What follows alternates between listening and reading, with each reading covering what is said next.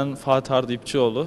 Yaklaşık 8 yaşından beri işte ilk önce kayak, alp disiplini daha sonra da kayakla atlama branşıyla ilgilenen insanların genel olarak bildiği uçan Türk. Ee, 26 yaşındayım. Erzurumluyum. Üniversiteyi Erzurum Atatürk Üniversitesi Spor Bilimleri Fakültesi'nde bitirdim. Yüksek lisansı Erzurum Atatürk Üniversitesi Kış Sporları Enstitüsü'nde e, yaptım.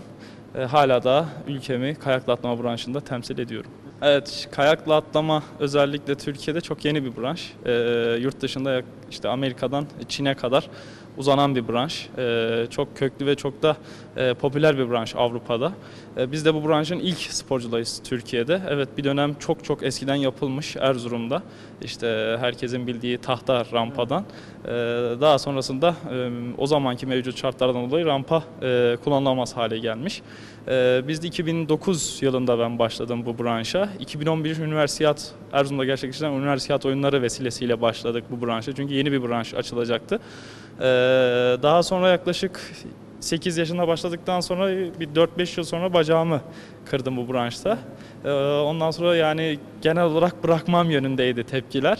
Ama ben daha sonradan tabii tekrar e, devam etmek istediğimi ailemle görüşüp tartıştıktan sonra e, branşa devam ettim ve bu branşta da işte ülkemize ilk Continental Cup pu- puanı kazandırdım. Daha sonra ülkemizdeki tarihteki ilk e, kış olimpiyatları 2018 Güney Kore Kış Olimpiyatlarına kendi kotamla e, katıldım ve ülkemizi ilk defa kayakla atlamada temsil ettim. E, daha sonra Dünya Kupası'nda birçok e, derece elde ettim. İşte Dünya Kupası puanlarını aldım. Hiç e, bu zamana kadar hiçbir e, Türk sporcunun kayakla atlamada e, almadığı puanlar. Daha sonra 2022 kış olimpiyatlarına tekrar kendi kotamla katıldım. Bu 2022'de de her iki rampa yarışmasında da e, elemeleri geçip finallere e, kaldım.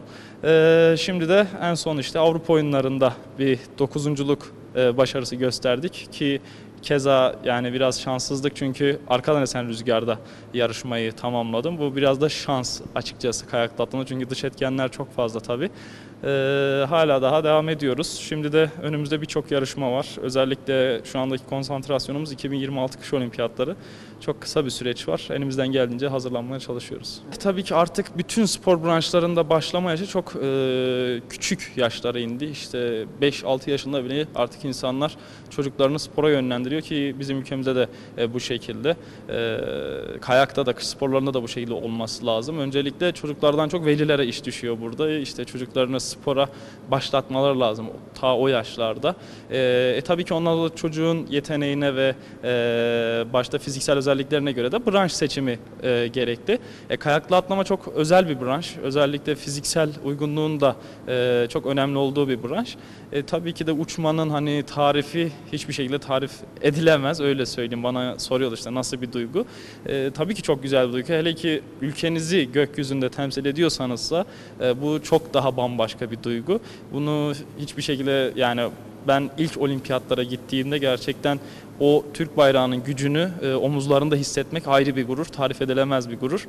E, yani bir şekilde çocukları yönlendirmek lazım. Kayakla atlama özellikle dediğim gibi özel bir branş olduğu için e, biraz da uzun süre gelen bir branş. Çünkü sadece profesyonel olarak yapılan bir branş kayakla atlama. Ama tabii ki eğer sevdiğiniz bir branşsa da e, bu zehri bir defa aldığınızda vazgeçemiyorsunuz. Avrupa oyunlarından sonra önümüzde e, kayakla atlama yazın ve kışında yapılan bir branş olduğu için e, her iki sezonda da bizim yarışmalarımız devam ediyor. E, şu anda da başlangıç olarak çok iyi bir seviyede başladık. E, önümüzde de 2026'ya e, çok az bir süre var. Bu sürede de hep Dünya Kupası yarışmalarında e, ülkemizi temsil etmeyi hedefliyoruz ve artık Dünya Kupası yarışmalarında da ülkemize tarihte hiç olmayan dereceleri getirmek istiyoruz. Özellikle madalya şu anda çok e, odaklanmış durumdayız. E, tabii şu andaki elimizde olan mevcut şartlardan dolayı şu anda kondisyon antrenmanlarımızı yapıyoruz Türkiye'de.